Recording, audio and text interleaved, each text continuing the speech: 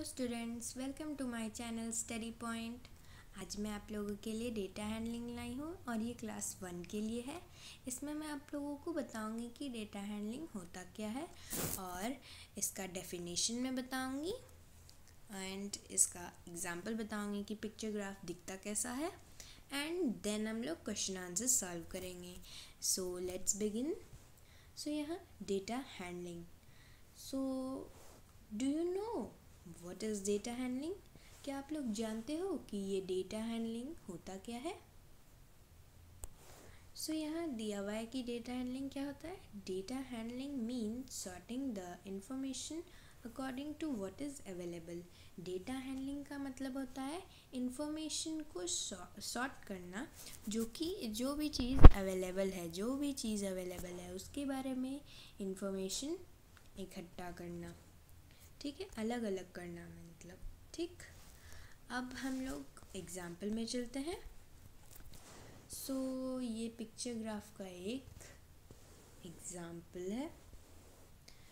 ऐसे ही आप लोग को पिक्चर ग्राफ मैं जो क्वेश्चंस लाई हूँ आप लोग के लिए वो मिलेगा। इसी टाइप का। सो so, यहाँ पिक्चर दिया है और यहाँ अवेलेबल दिया है। जो भी चीज़ अवेलेबल है वो दिया है। मीन्स फ्रूट्स अवेलेबल है और नंबर्स नंबर दिया हुआ है ठीक? सो so, यहाँ वाटरमेलन्स हैं स्ट्रॉबेरीज़ हैं ग्रेप्स चेरीज़ एंड बनानाज हैं। और इसके नंबर्स भी दिए हैं। Four watermelons three strawberries five grapes cherries four and bananas two so ये सब तो आप लोग को समझ में आ गया। अब हम लोग देख लेते हैं कि क्वेश्चन में है क्या और आप लोग को करना क्या है। सो so, यहाँ क्वेश्चन आंसर्स में पहले तो यह पिक्चर दिया है देन स्वीट्स और स्वीट्स के नंबर केक है यहाँ पेस्ट्री है कैंडी है चॉकलेट्स डोनट्स है। ओके सो ये सब चीज़ यहाँ अवेलेबल है। अब इस सब के बारे में क्वेश्चन आंसर्स हम लोग देख लेते हैं। सो so, ये आप लोग अच्छे से ऑब्ज़र्व कर लीजिए ये पूरा पिक्चर ग्राफ ताकि क्वेश्चन आंसर सॉल्व करने में आप लोग को फन भी मिले एंड आपका क्वेश्चन आंसर फटाक से सॉल्व हो जाए।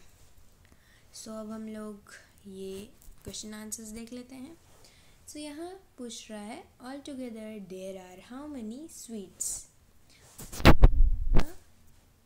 सारा मिलाकर कितने स्वीट्स हैं, वो पता करने इस क्वेश्चन में बोल रहा है।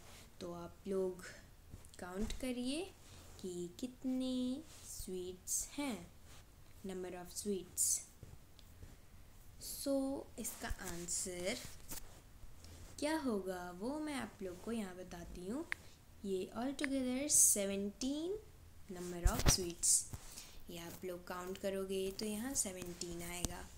नेक्स्ट है question how many donor how many number of donuts are there so यहाँ कितने नंबर ऑफ़ डोनट्स हैं? तो हम लोग डोनट्स के सेक्शन में जाएँगे। सो so, ये लास्ट में डोनट्स हैं। डोनट्स नंबर में कितने हैं? वो यहाँ क्वेश्चन है। सो so, यहाँ भी हम लोग को थ्री दिख रहे हैं और ये नंबर भी थ्री है। So, donuts are three in number so यहाँ थ्री हो जाएगा। अब नेक्स्ट है। Name the sweet with large number तो एक स्वीट का नाम यहाँ हमें फिल करना है, जो कि सबसे लार्ज है नंबर्स में। तो नंबर्स में आप लोग देख लीजिए कि कौन सा स्वीट सबसे ज़्यादा है। सो so, यहाँ मुझे दिख रहा है कि चॉकलेट सबसे ज़्यादा है। सो so, यहाँ हमें चॉकलेट्स लिख देने हैं। सो so, यहाँ फिल करना है चॉकलेट्स ओके नेक्स्ट क्वेश्चन है। Name two sweets with same number ये दो स्वीट्स के नाम बताना है जो कि नंबर सेम है। ये देख लीजिए आप लोग। कौन सा स्वीट है जिसका कि नंबर सेम है? सो so, मुझे डोनट्स एंड केक दिख रहे हैं तो मैं यहाँ डोनट्स एंड केक भर दूँगी। फिलअप कर देती हूँ मैं।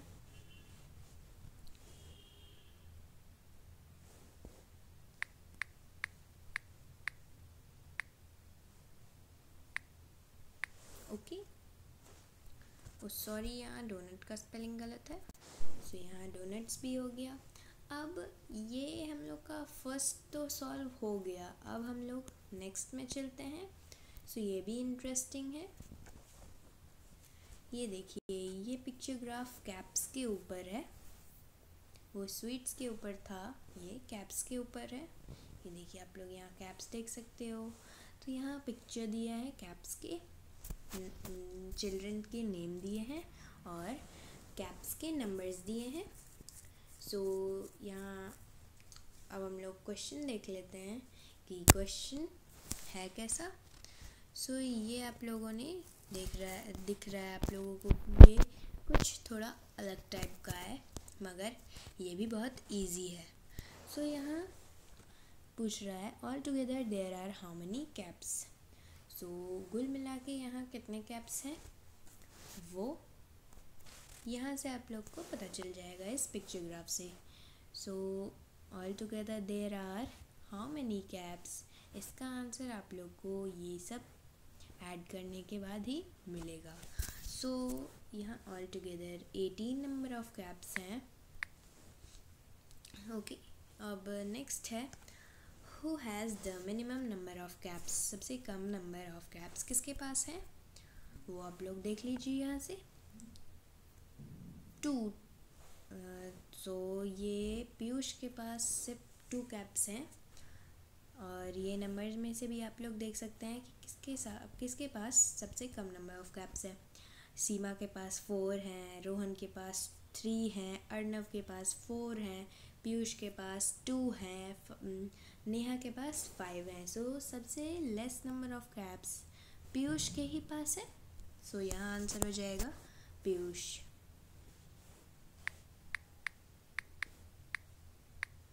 ओके। अब हम लोग आगे देख लेते हैं।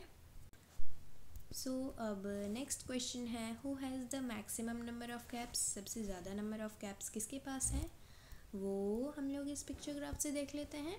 सो so, सबसे ज़्यादा नंबर ऑफ़ कैप्स नेहा के पास है क्योंकि उसके पास फाइव कैप्स हैं। इसीलिए हम लोग यहाँ लिख देंगे नेहा। सो so, यहाँ हो जाएगा नेहा अब नेक्स्ट क्वेश्चन है। Next and last Arnav has how many caps Arnav के पास कितने कैप्स हैं?